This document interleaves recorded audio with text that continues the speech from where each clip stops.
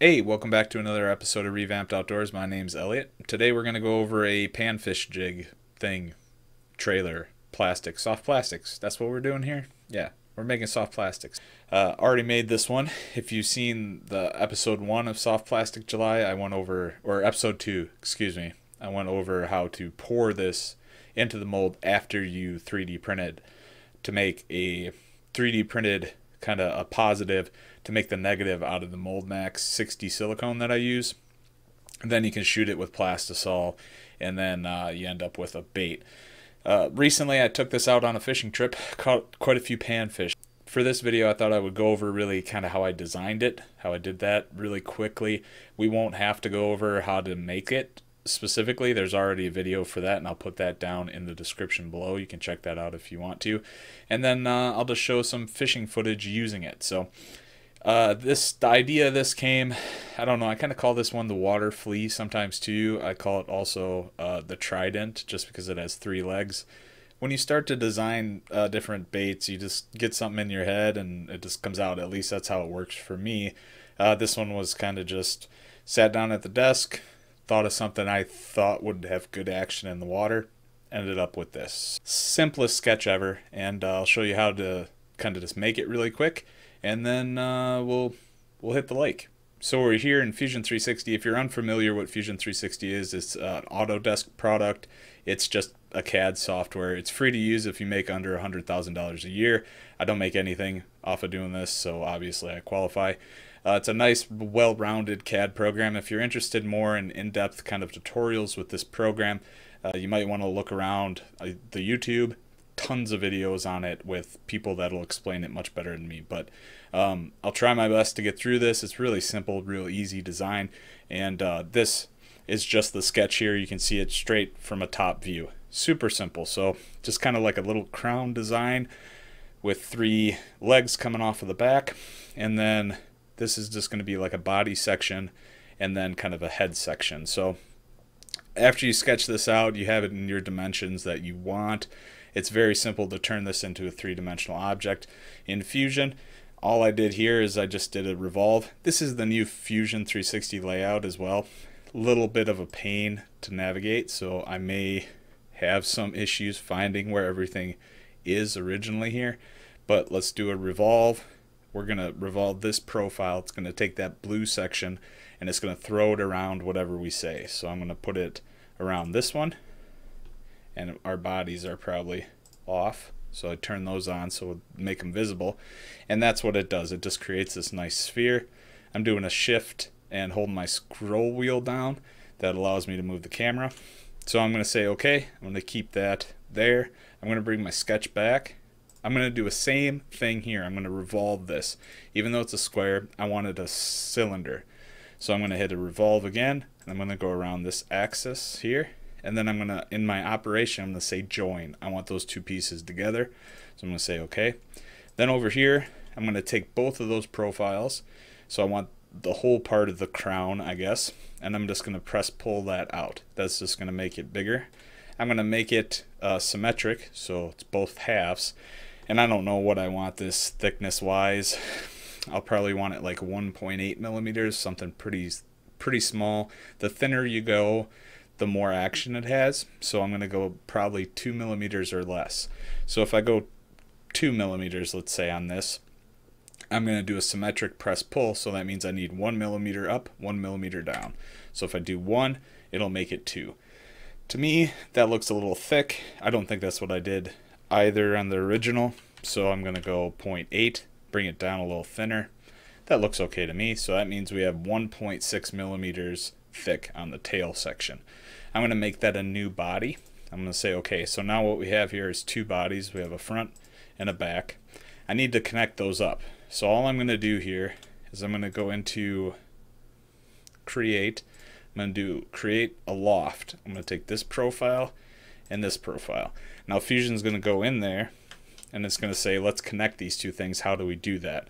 And that's how it does it. It determines where to go puts them together. So then I go down here, I say join. Now what we have is one body between those two pieces coming off of that sketch. And then what we can do is come in here and clean it up. I'm just going to hit F, make that a fillet, I'm going to bring that like that. I'm going to do the same here. We'll see if it allows us to do a nice fillet on this. It may not. But you never know. You got to try it first.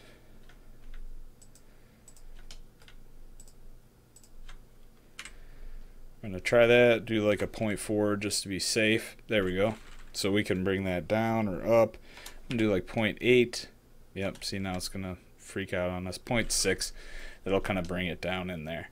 Now the thing you could do too is you can cut this profile here before you extrude it all the way here and then you can have it loft across this whole area so that gives it a nicer transition. Uh, depends on kind of what you're looking for. But we can do a fillet, do a rule fillet on this profile. What a rule fillet is, is it takes a face, any of those corners, it does a fillet on it. So we can do it like 0.2. I mean, you can get, you can do whatever you really want here.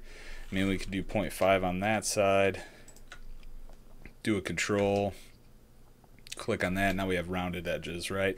You just mess around with the fillets at different ways, different uh, press pulls to make it what you thought in your head from your sketch.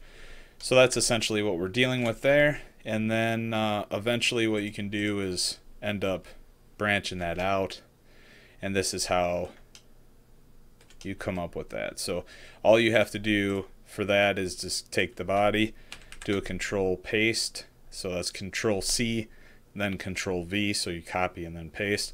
Then you're just setting these up where you want them to be, right? So then Eventually you set those up where you want them. You end up with something like this. You get your little uh, channels on your main tree where the plastisol will come down. So then what I did is I made it go all the way to the edge of the mold.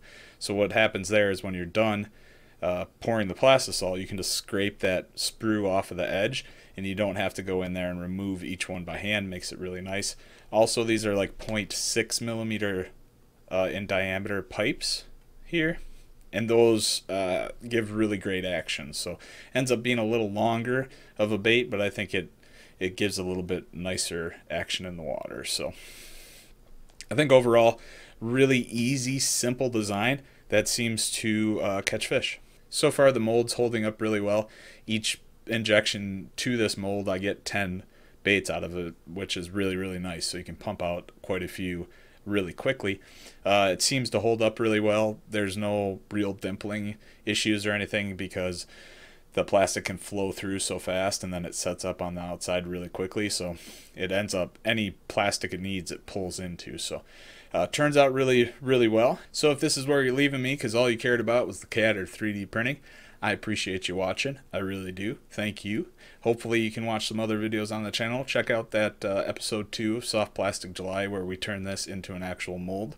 If you care about the actual settings on the printer and whatnot, it was printed in PLA and it was printed at 0.08 millimeter layer heights. So pretty pretty high resolution, very low layer height on there and uh, seemed to print really well. You do see some layer lines, but not not a whole lot, not enough and the fish don't seem to care. So I do appreciate it. Maybe consider giving it a like, uh, maybe subscribe before you leave. Would appreciate it. Uh, otherwise, let's go fishing.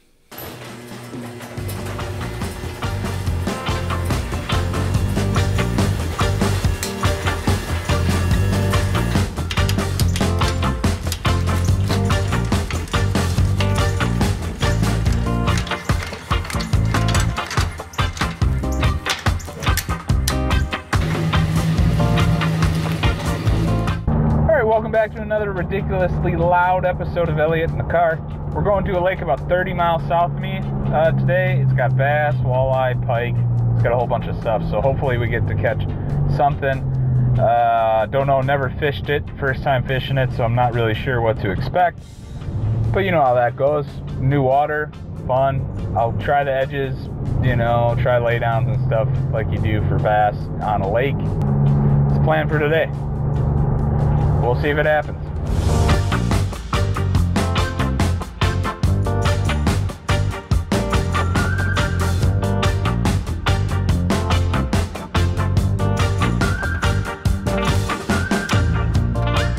Just right outside the boat launch here and uh, this looks pretty good I think so I'm gonna try this little offshoot slew here. Uh, work the edges there for the Bassosaurus rexes, and uh, we'll see what happens. Looks pretty good though.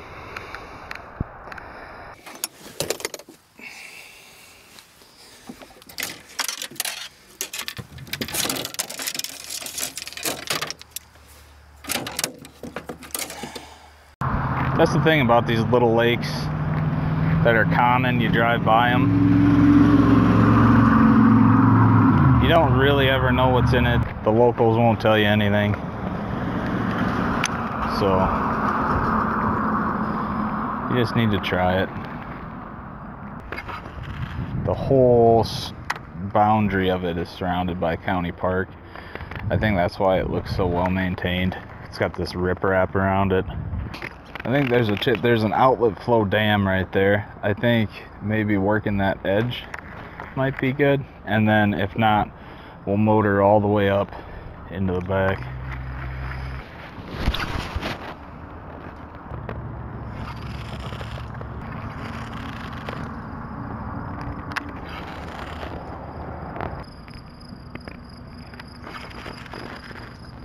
Mid-August. Usually it's a lot warmer. Ooh. Might have been a stump, could have been a fish. I don't really know. I got got a hedge craw on there and packer backer. So it's that dark green to yellow fade with a green and yellow jig. Oh yeah. What is going on?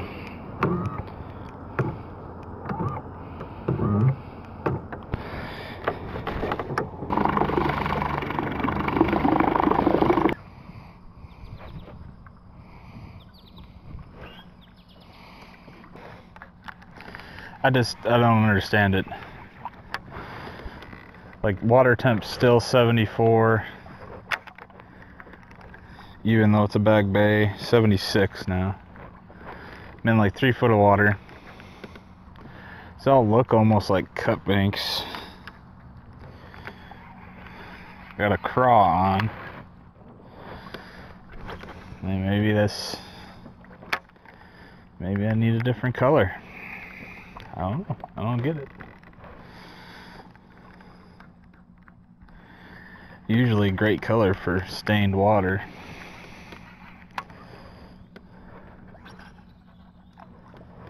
Bluegill time. Crappie, whatever. Whatever's around. This is a Trident panfish jig I developed. Let's see if it works.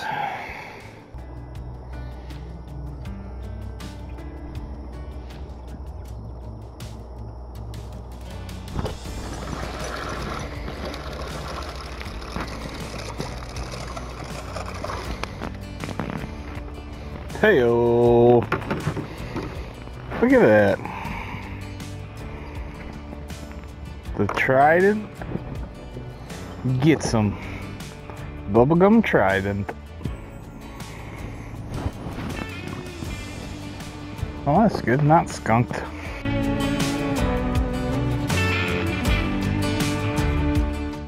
Let's try and get another one on it. It's a little beat up, but pretty instant too. He wanted it. I wonder where they are. They're probably they're probably at right where I'm sitting. I almost guarantee it, but we'll try it around a little bit and see. I think that might be the key. I know I've done that uh, in the past, mostly in the spring, where I'd come into areas like this and you just run up the middle and you just casting with a bobber just to see if you can find active fish if you do, then you sit on those fish for a little while. Uh, might be the way to go today. I'm three to four feet of water. I'm just using a, a slip float with a sinker to help it get down faster. This is probably like a 132nd jig with my custom soft plastic on it. And then I'm just using, I don't even know what this is, Berkley amp extreme sensitivity. I don't know, it's a seven foot medium, but realistically the tip's more like a light And then it's got an Okuma Avenger on it, 15A. Uh, it's a nice little panfish setup, I think. I like the little longer rods for the panfish even. Uh, just makes it a little easier to maneuver around.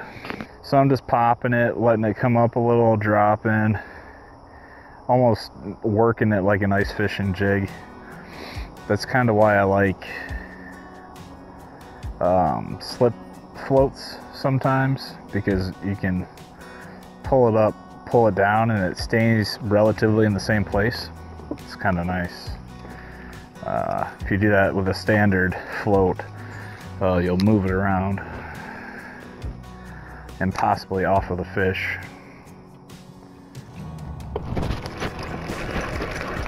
There he is.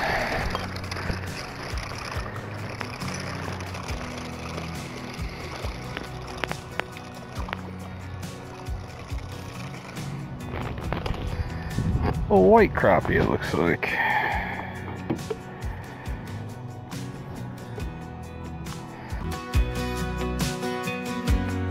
Got that guy in the same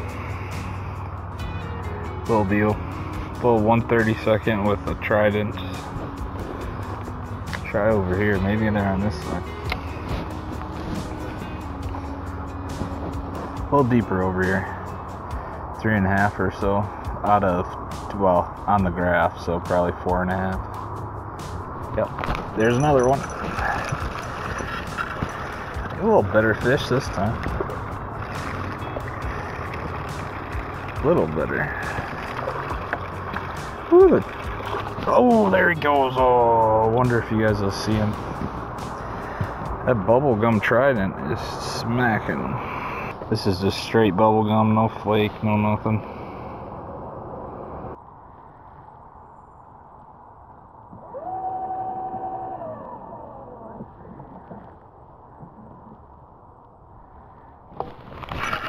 There's one. Hopefully this is a little better fish, huh?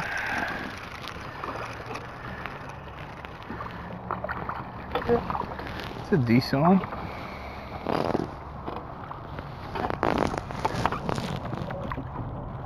It's a bigger white crappie there. Pretty. Very pretty fish. This hook keep on this jig is messing up my plastic, but good thing I can pour 10 of these at once, eh? They seem to be right in the transition between deeper and shallower water. This is kind of like a pseudo bay right here. And they seem to be there. I don't think anybody else is really having a bang up day either, so this isn't really hot and heavy.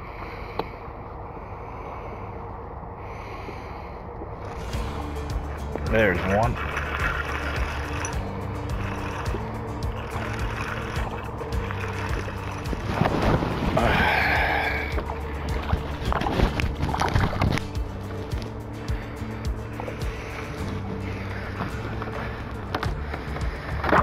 Crappie fishing, gotta get them net all the time.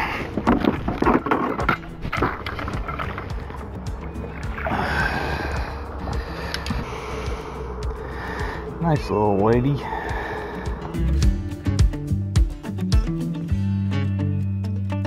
A good tip that uh, I got from Uncut Angling, been trying to do for a couple of years is pull it like that so it sits flat in the water, horizontal in the water.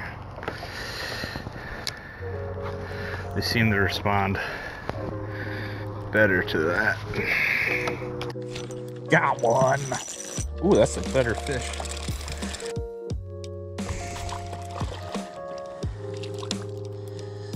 There we go. You might get him eventually.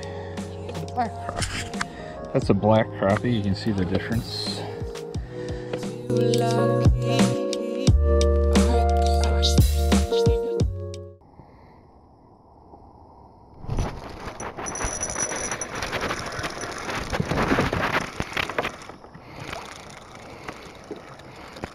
bluegill. That's the first one of those guys.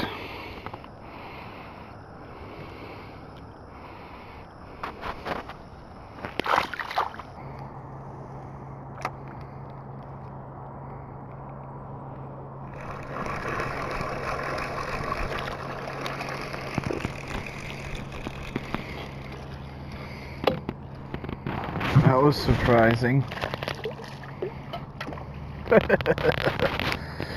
oh. Well, we finally did it, folks.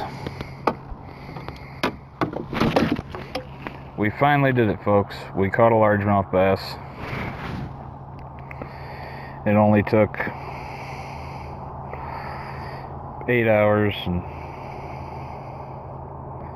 like 20 crappies later. But we caught one.